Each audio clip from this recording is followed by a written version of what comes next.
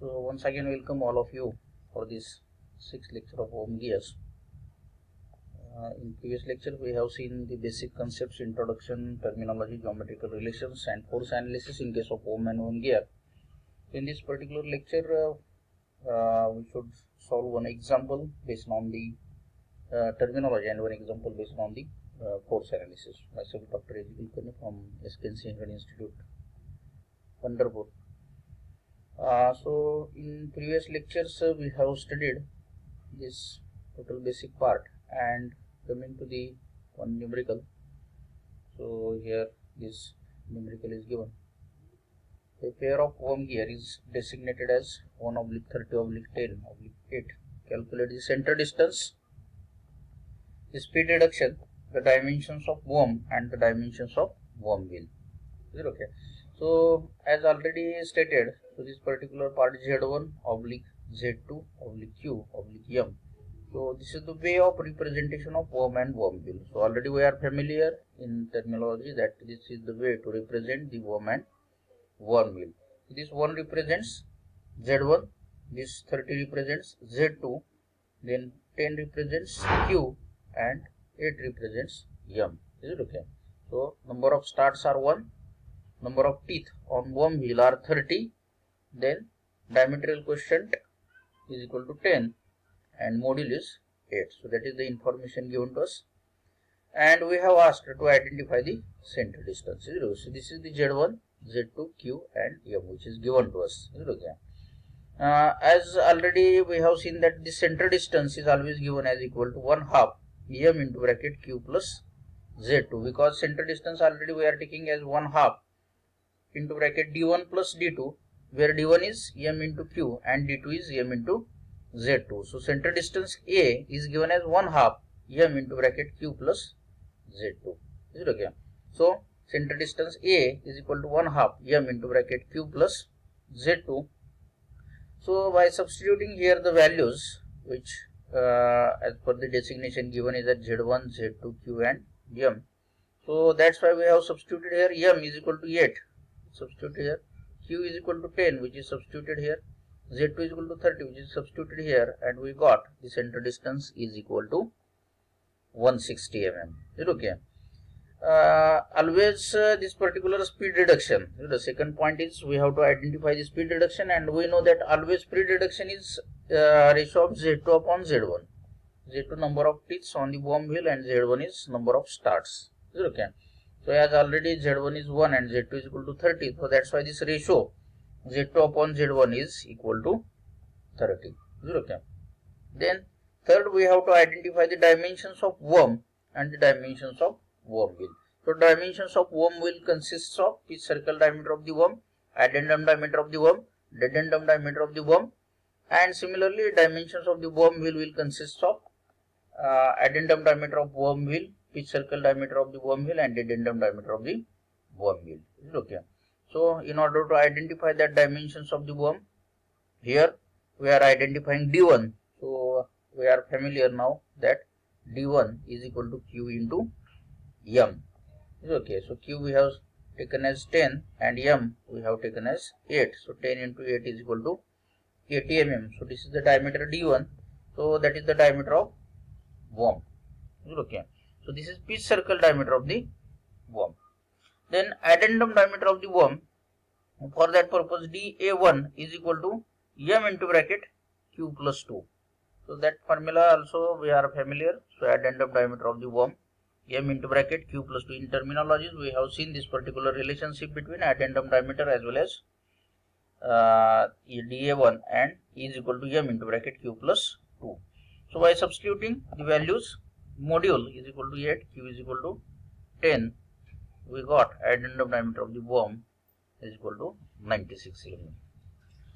Uh, now in order to calculate the uh, dedendum diameter because notation dA1 we are using as addendum diameter and the notation dF1 we are using as a dedendum diameter so now we know that addendum diameter and dedendum diameter in case of worm. So for that purpose we are using these particular formulas. Uh, in dedendum diameter calculation we are using the formula df1 is equal to m into bracket q plus 2 minus 4.4 cos gamma. Okay, so this particular formula we have seen in the terminology part and uh, for that purpose now we are uh, we require to calculate gamma also. Is it okay? So gamma is the lead angle and uh, we are familiar with the lead angle that tan gamma is equal to z1 upon q. Is it okay? So tan gamma is equal to z1 upon q.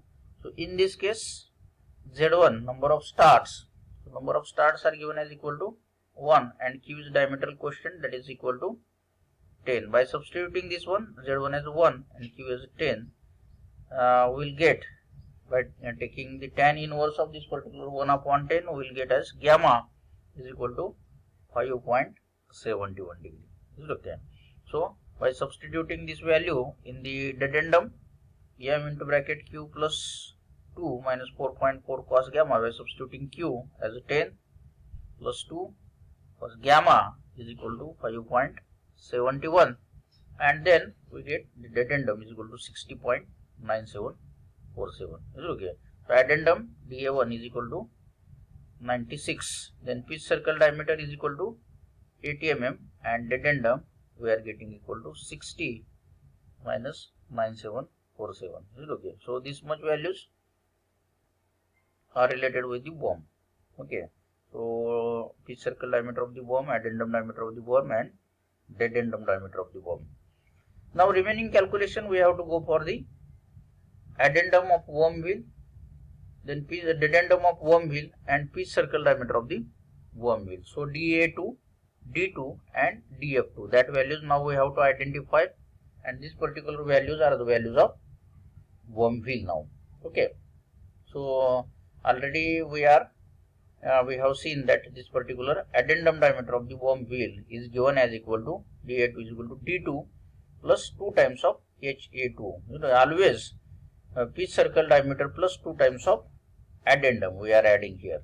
By substituting this d2 is equal to mz2 and this addendum is equal to uh, m into bracket 2 cos gamma minus 1 we have the formula for addendum in case of worm wheel is equal to m into bracket z2 plus 4 cos gamma minus 2.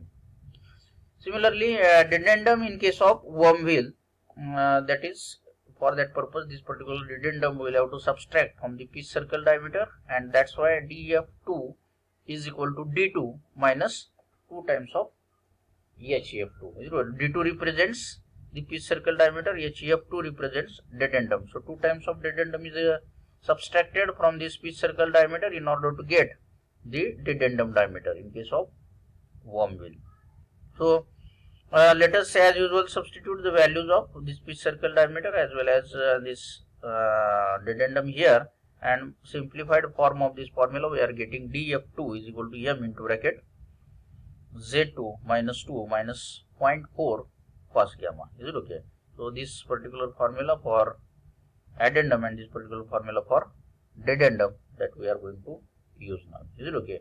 So alternative names which are given here it is addendum or throat diameter in case of worm wheel because in case of worm wheel we are also considering addendum as throat diameter. Similarly addendum is considered to be root diameter. These alternative names of this addendum and addendum that should be also uh, known to all of us. Okay. Uh, so by uh, calculating this value um, we are getting here d2 is equal to m into z2 so m we are substituting as equal to module 8 and z2 number of teeth on worm wheel that is 30 that's why d2 is equal to 240 mm is okay? So that is the time pitch circle diameter of the worm wheel. Similarly in case of addendum now dA2 is the addendum so by substituting this particular formula which derived based on this pitch circle diameter and addendum m into bracket z2 plus 4 cos gamma minus 2 modulus 8 number of uh, teeth on worm wheel are 30 gamma we have already identified that is lead angle and that is 5.71 and by substituting these values we are getting addendum diameter of worm wheel is equal to 255.84 mm. Is it okay? Uh, similarly, in case of worm wheel, this dedendum diameter uh, df2 is equal to m into bracket z2 minus 2 minus 0.4 cos gamma. So likewise, and by substituting the value of module m is equal to 8, z2 as 30, then uh, this lead angle 5.71 we are getting that. Dedendum is equal to dedendum diameter is equal to 220.8159 is it okay? So these three dimensions represents the diameters of dimensions of worm wheel. So pitch circle diameter is 240 mm. Pitch uh, addendum diameter or we may consider as a throat diameter in case of worm wheel. That is 255.8412 mm. And dedendum diameter in case of worm wheel that is 220.8159 mm. Is it okay additionally we are calculating this axial pitch also. Px is the axial pitch and always we are considering the axial pitch px is equal to pi m. And this particular pi m for that we have substituted this pi is m is equal to 8 and we are getting the axial pitch is equal to 25.1327 is it okay? So this is about the terminology. So these kind of examples are asked uh, in the examinations uh, this may be for 3-4 marks. These examples will be asked. So here we should understand the particular way of representation of worm and worm wheel and this uh, with the help of these ways we can identify uh, this part of the terminology here.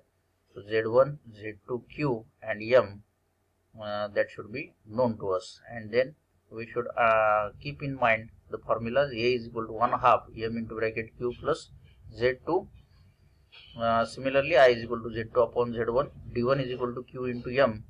Da1 is equal to m into bracket q plus 2 df1 is equal to m into bracket q plus 2 minus 4.4 cos gamma. Similarly da2 is equal to d2 plus 2 ha2 or m. Da2 is equal to m into bracket z2 plus 4 cos gamma minus 2 and df2 is equal to m into bracket z2 minus 2 minus 0.4 cos gamma. Is it okay? Similarly d2 is equal to m into z2 so these formulas we'll have to keep into mind uh, because without these formulas we cannot solve this uh, example based on the terminology. So that is required here. So hope you will understand this particular example based on the terminology of worm and worm gear. Is it okay? So thank you one and all for this your attention and this particular example. Thank you